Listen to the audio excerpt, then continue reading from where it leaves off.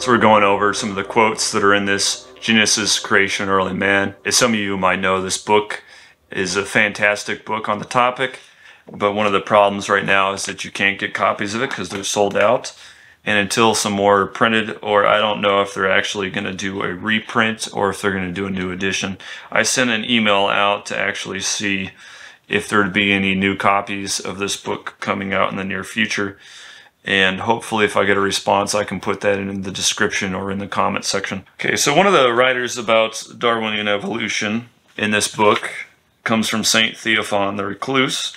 Is written here in order to help his fellow believers remain firm in the Orthodox faith within the context of modernity, he read widely in the fields of philosophy and science and stayed abreast of the latest intellectual currents. So uh, he compares the unbelief of the Sadducees in Christ's time with that of the evolutionist of his own time.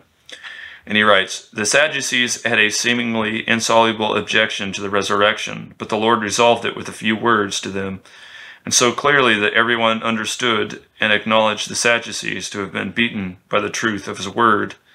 What the Sadducees were then unbelievers of all sorts are now. They have heaped up a multitude of fanciful suppositions for themselves, elevated them to the status of irrefutable truths, and plumbed themselves on them, assuming that nothing can be said against them. In fact, they are so ungrounded that it is not even worthwhile speaking against them. All of their sophistry is a house of cards, blow on it, and it flies apart. There is no need to refute it in its parts. It is enough to regard it as one regards dreams. When speaking against dreams, people do not prove the absurdity in their composition or in their individual parts, but only say, it's a dream. And with that, they resolve everything. It is the same with the theory of the formation of the world from a nebula and its supports, with the theory of abiogenesis and Darwin's origin of genera and species, and with his last dream about the descent of man. It is all like delirium. When you read them, you are walking in the midst of shadows. And scientists? Well, what can you do with them? Their motto is, if you don't like it, don't listen, but don't prevent me from lying. St. Theophan here um, comments on the descent of man from the animals, and he writes, What ought we to preach? The saint asks. We should cry to all sons of the kingdom, don't run from the kingdom into bondage and slavery, for they are in fact running. Some are captivated by freedom of mind. They say, We don't want the bonds of faith and the oppression of authority, even divine authority. We'll figure out, we'll figure things out and make up our minds for ourselves. So they have made up their minds. They've built fables in which there is more childishness than in the mythology of the Greeks, and they magnify themselves. Others are enticed by the broad path of the passions. They say we don't want to know positive commandments or the demands of conscience. This is all abstract. We need tangible naturalness, and they have gone after it. What has come of it? They have bowed down before dumb beasts. Has not the theory that man originated from animals arisen from this moral fall? This is where they have gone, and everyone runs from the Lord. Everyone runs. So also, St. Theophan wrote that Darwinism together with the other godless philosophies from the West, is deserving of formal condemnation by the Orthodox Church. And he goes on to say, These days, many nihilists of both sexes, naturalists, Darwinists, Spiritists, and Westernizers in general, have multiplied among us. All right, you're thinking, would the church have been silent? Would it not have proffered its voice? Would it not have condemned or anathematized them if there had been something new in their teaching? To be sure, a council would have done so without doubt, and all of them with their teachings would have been given over to anathema. To the current rite of orthodoxy, only the following item would have to be added to Buchner, Feuerbach, Darwin, Renan, Kardec, and all their followers anathema but there is no need either for special council or for any kind of addition. All of their false teachings were anathematized long ago. At the present time, not only in principal cities, but in all places and churches, the rite of orthodoxy ought to be brought in and celebrated. so that all the teachings contrary to the word of God might be collected, and that it might be proclaimed to everyone what they must fear and from what teaching they must flee, and all might know. Many are seduced intellectually only through ignorance, and therefore a public condemnation of pernicious teachings would save them from destruction. If the action of anathema is terrible to someone, then let him avoid the teachings that lead to it. Let him who is afraid of it, for the sake of others, bring them back to a healthy teaching. If you, who are not favorably disposed to this action or orthodox, then you are going against yourself. And if you have already lost sound teaching, then what business do you have concerning what is done in the church that supports it? After all, you've already separated yourself from the church and have your own convictions, your own way of looking at things.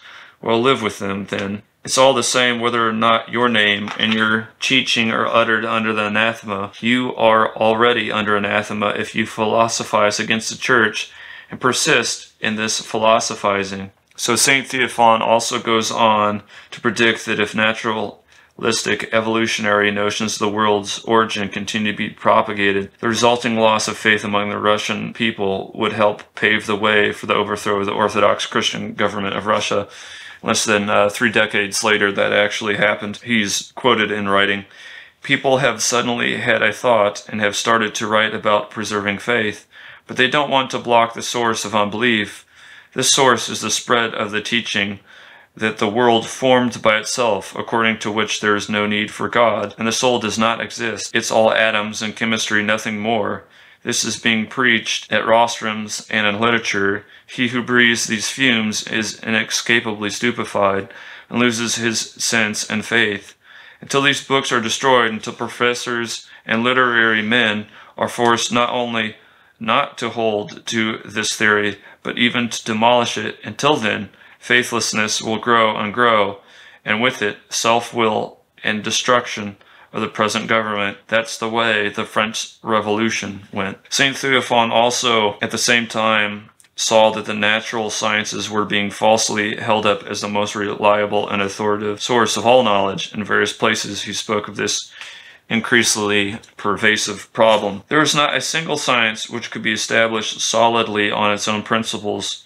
Something can be obtained from all the sciences, but this is not something that gives one the right to cite science as a decisive authority.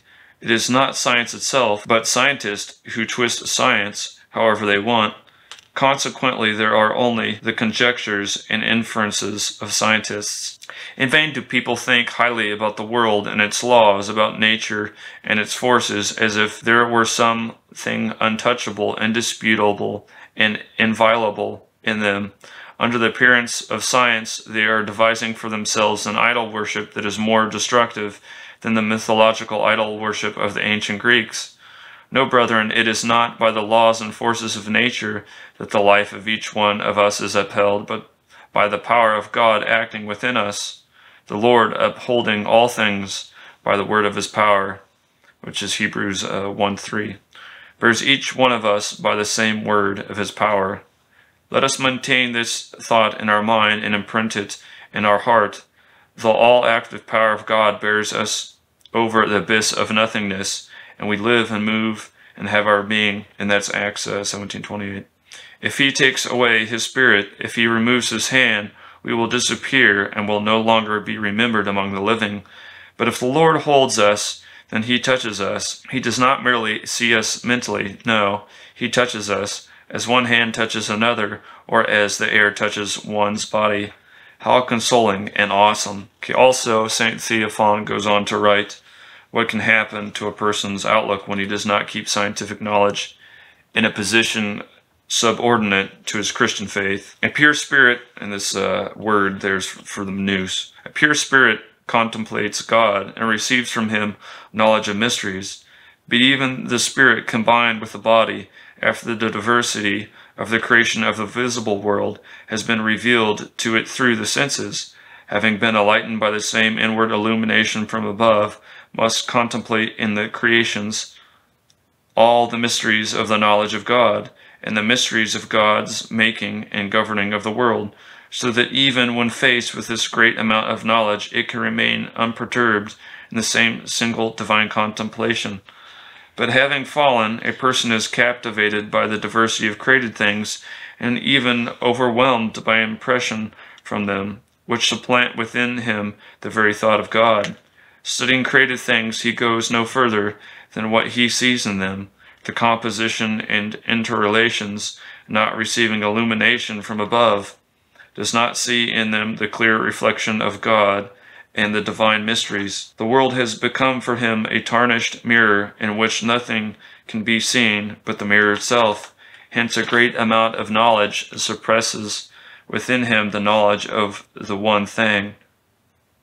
It turns him away from it, makes him cold toward it. Such is the price, and such is the fruit of science in a fallen state. St. Theophan also writes, A believer has the full right to insinuate himself with spiritual things into the material realm, while materialists crawl with their matter without a twinge of conscience into the spiritual realm. Right mindedness is on our side, while incoherence is on theirs. And this is not because every sandpiper praises its own swamp, rather, it is to the point. Matter cannot be either a power or a purpose.